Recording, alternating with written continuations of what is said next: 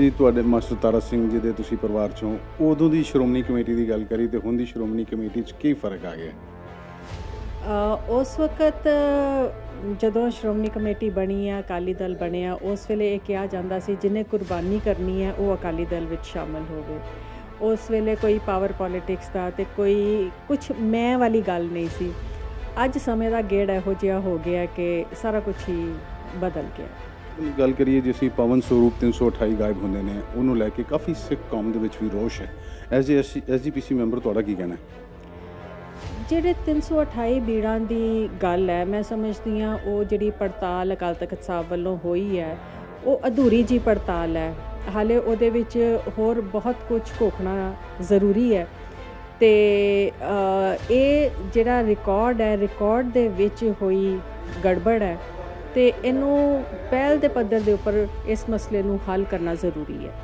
ਜੀ ਤੁਹਾਨੂੰ ਲੱਗਦਾ ਜਿਵੇਂ ਜਥੇਦਾਰ ਟੌਰਾ ਸਾਹਿਬ ਸੀਗੇ ਜਾਂ ਮਾਸਟਰ ਤਾਰਾ ਸਿੰਘ ਜੀ ਸੀਗੇ ਜਿਹੜੀ ਸੋਚ ਲੈ ਕੇ ਉਹ ਐਸਜੀਪੀਸੀ ਨੂੰ ਚੱਲੇ ਸੀਗੇ ਉਹ ਸੋਚ ਦੀ ਵੀ ਕਿਤੇ ਕਿਤੇ ਨਾ ਕਿਤੇ ਕਮੀ ਹੋ ਗਈ ਹੈ? ਜਿਹੜੀ ਪੰਥਕ ਸੋਚ ਨੇ ਕੌਮ ਨੂੰ ਇਕਸਾਰਤਾ ਦੇ ਵਿੱਚ ਲਿਆਂਦਾ ਜਿਹੜਾ ਕੌਮ ਨੂੰ ਚੜ੍ਹਦੀ ਕਲਾ ਵਿੱਚ ਲੈ ਕੇ ਗਿਆ ਉਹਦੀ ਤਰਜਮਾਨੀ ਅੱਜ ਬਦਲ ਗਈ ਹੈ। ਤੁਹਾਨੂੰ ਕੀ ਲੱਗਦਾ ਇਹਦਾ ਐਸਜੀਪੀਸੀ ਦਾ ਜਿਹੜਾ ਸਿਆਸੀਕਰਨ ਹੈ ਇਹ ਨਹੀਂ ਹੋਣਾ ਚਾਹੀਦਾ? ਸ਼੍ਰੋਮਣੀ ਕਮੇਟੀ ਵਾਸਤੇ ਗੁਰੂ ਪਹਿਲੇ ਗੁਰੂ ਦਾ ਸਿਧਾਂਤ ਪਹਿਲੇ ਸਿੱਖੀ ਪਹਿਲੇ ਸਭ ਕੁਝ ਪਿੱਛੇ ਹੋਣਾ ਚਾਹੀਦਾ। ਸ਼੍ਰੀ ਹਰਮੰਦਰ ਸਾਹਿਬ ਵਿੱਚ ਐਸਜੀਪੀਸੀ ਦਾ 100 ਸਾਲਾ ਮਨਾਇਆ ਜਾ ਰਿਹਾ ਹੈ।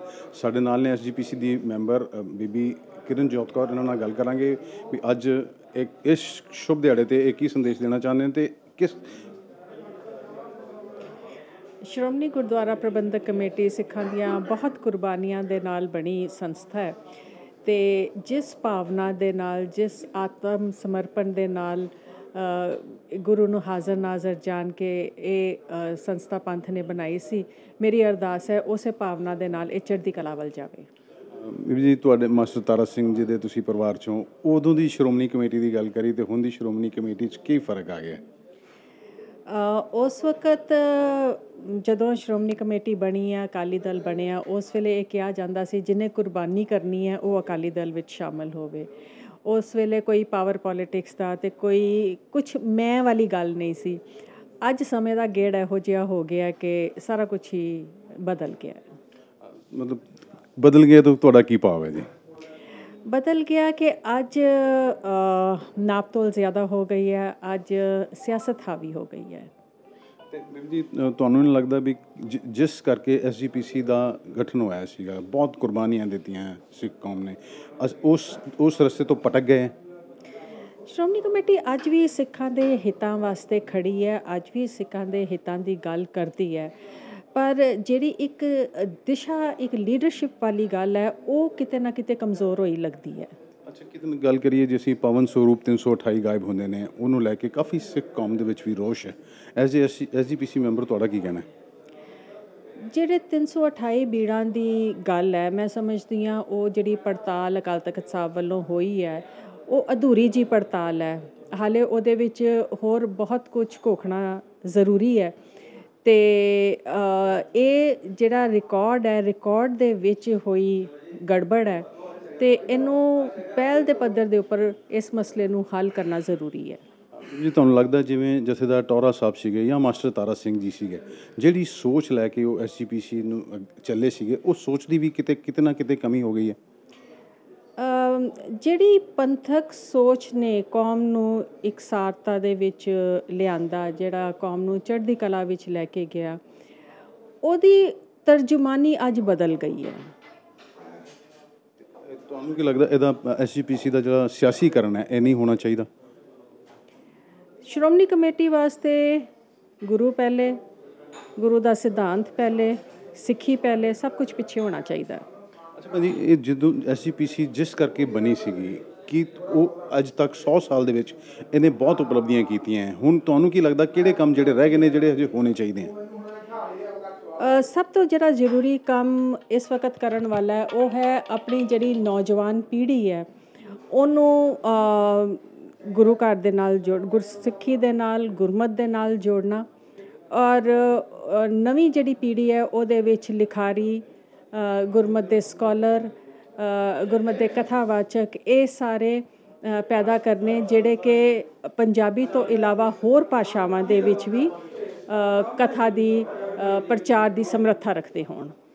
ਜੀ ਗੁਰੂ ਸਾਹਿਬ ਨੇ ਸੰਦੇਸ਼ ਦਿੱਤਾ ਸੀ ਵੀ ਸ- ਜਾਤ ਪਾਤ ਦਾ ਵਿਰੋਧ ਕੀਤਾ ਸੀ ਉਹਨਾਂ ਨੇ ਤੇ ਅਜੇ ਵੀ ਦੇਖਿਆ ਜਾਏ ਤੇ ਕੁਝ ਪਿੰਡਾਂ ਦੇ ਵਿੱਚ ਅਲੱਗ-ਅਲੱਗ ਗੁਰਦੁਆਰੇ ਨੇ ਧਰਮਾਂ ਸਿੱਖ ਸਿੱਖ ਧਰਮ ਦੀ ਜੇ ਅਸੀਂ ਗੱਲ ਕਰੀਏ ਅ, ਉਚਰੀ ਕੌਮ ਦੇ ਵੱਖਰੇ ਤੇ ਦੂਸਰੇ ਜਿਹੜੇ ਨੇ ਜਿਹੜੇ ਮਜਬੀ ਸਿੰਘਾਂ ਦੇ ਨਾਲ ਦੇ ਅਲੱਗ-ਅਲੱਗ ਨੇ। ਇਹ ਸਿੱਖਾਂ ਦਾ ਵਰਤਾਰਾ ਨਹੀਂ, ਇਹ ਸਮੁੱਚੀ ਸਮਾਜ ਦੇ ਵਿੱਚ ਇਹ ਵਰਤਾਰਾ ਹੈ ਕਿ ਜਿਹੜਾ ਕਿ ਅਖੌਤੀਆਂ, ਨੀਵੀਆਂ ਜਾਤਾਂ ਨੂੰ ਉਹਨਾਂ ਦੇ ਸ਼ਮਸ਼ਾਨ ਘਾਟ ਵੀ ਵੱਖਰੇ ਕਰਦੇ ਨੇ, ਅਖੌਤੀ ਉੱਚੀਆਂ ਨੂੰ ਕਰਨਾ, ਸਿੱਖੀ ਤਾਂ ਹਰ ਇਨਸਾਨ ਨੂੰ ਬਰਾਬਰ ਮੰਨਦੀ ਹੈ। ਔਰ ਸ਼੍ਰੋਮਣੀ ਕਮੇਟੀ ਨੂੰ ਜਿਹੜੀਆਂ ਇਹ ਕਥਿਤ ਨੀਵੀਆਂ ਜਾਤਾਂ ਨੇ, ਇਹਨਾਂ ਦੇ ਵਾਸਤੇ ਇਹਨਾਂ ਦੇ ਹੱਕ ਦੇ ਵਿੱਚ ਸ਼ੁਰੂ ਤੋਂ ਹੀ ਬੜੇ ਕਦਮ ਚੁੱਕੇ ਗਏ। ਔਰ ਅੱਜ ਵੀ ਜੇ ਇਹਨਾਂ ਵਰਗ ਦੇ ਵਿੱਚ ਅਗਰ ਕਿਸੇ ਚੀਜ਼ ਮਤਲਬ ਗੁਰਦੁਆਰਿਆਂ ਦੇ ਵਿੱਚ ਪ੍ਰਚਾਰ ਦੀ ਇਹਨਾਂ ਸਾਰੀਆਂ ਜਿਹੜੀਆਂ ਮਸਲੇ ਨੇ ਇਹਨਾਂ ਵੱਲ ਧਿਆਨ ਕੀਤਾ ਜਾਂਦਾ ਹੈ। ਅੱਜ ਸਿੱਖ ਜੇ ਅਸੀਂ ਗੱਲ ਕਰੀਏ ਕਿ ਨਵੀਂ ਪੀੜ੍ਹੀ ਜਿਹੜੀ ਇੱਕ- ਪੀੜ੍ਹੀ ਜਿਹੜੀ ਹੈ ਉਹ ਕੇਸ ਨਹੀਂ ਰੱਖ ਰਹੀ ਕਟਵਾ ਇੱਕ ਕਟਵਾ ਰਹੀ ਹੈ। ਇਹਦੇ ਬਾਰੇ ਤੁਸੀਂ ਕੀ ਕਹਿਣਾ ਇਹਦੇ ਵਿੱਚ ਬਹੁਤ ਅਫਸੋਸ ਦੀ ਗੱਲ ਹੈ ਕਿ ਜਿਸ ਕੌਮ ਦੇ ਵਾਸਤੇ ਸਾਡੇ ਕੋਲ ਅਜਿਹੀ ਮਿਸਾਲ ਹੋਵੇ ਕਿ ਜਿਨ੍ਹਾਂ ਨੇ ਖੋਪੜੀ ਤਾਂ ਲਵਾਤੀ ਪਰ ਕੇਸ ਨਹੀਂ ਕਤਲ ਕਰਾਏ? ਅੱਜ ਉਸ ਕੌਮ ਦੇ ਵਾਰਿਸ ਜਿਹੜੇ ਆਪੇ ਨਾਈਆਂ ਦੀਆਂ ਦੁਕਾਨਾਂ ਤੇ ਜਾ ਕੇ ਤੇ ਆਪਣੇ ਕੇਸ ਕਤਲ ਕਰ ਰਹੇ ਨੇ। ਬਹੁਤ ਹੀ ਨਮੋਸ਼ੀ ਦੀ ਗੱਲ ਹੈ। ਐਸਜੀਪੀਸੀ ਦੇ 100 ਸਾਲਾ ਦਿਹਾੜੇ ਤੇ ਤੁਸੀਂ ਕੀ ਸੰਦੇਸ਼ ਦੇਣਾ ਚਾਹੋਗੇ? ਵਾਹਿਗੁਰੂ ਅੱਗੇ ਅਰਦਾਸ ਹੈ ਕਿ ਸ਼੍ਰੋਮਣੀ ਕਮੇਟੀ ਪੰਥਕ ਮਰਿਆਦਾ ਦੇ ਉੱਪਰ ਪਹਿਰਾ ਦਿੰਦਾ ਹੋਏ ਕੌਮ ਨੂੰ ਇੱਕ ਡੋਰੀ ਵਿੱਚ ਪਰੋ ਕੇ ਤੇ ਕੌਮ ਨੂੰ ਚੜ੍ਹਦੀ ਕਲਾ ਵੱਲ ਲੈ ਕੇ ਜਾਵੇ। ਧੰਨਵਾਦ ਸਾਡੇ ਨਾਲ ਗੱਲ ਕਰਨ ਲਈ। ਇਹ ਸੀ ਬੀਬੀ ਕਿਰਨਜੋਤ ਕੌਰ ਐਸਜੀਪੀਸੀ ਦੇ 100 ਸਾਲਾਂ ਤੇ ਇਹਨਾਂ ਨੇ ਸੰਦੇਸ਼ ਦਿੱਤਾ। ਅਜੀ ਕਾਫੀ ਕੰਮ ਕਰਨੇ ਬਾਕੀ ਨੇ। ਐਸਜੀਪੀਸੀ ਦਾ ਜਿਹੜਾ ਸਿਆਸੀਕਰਨ ਹੋ ਰਿਹਾ, ਇਹਨਾਂ ਨੇ ਉਹਦਾ ਵੀ ਵਿਰੋਧ ਕੀਤਾ। ਸ਼੍ਰੀ ਹਰਿਮੰਦਰ ਸਾਹਿਬ ਤੋਂ ਡੀ4 ਨਿਊਜ਼ ਲਈ ਦੀਪਕ ਭੰਡਾਰੀ ਦੀ ਖਾਸ ਰਿਪੋਰਟ।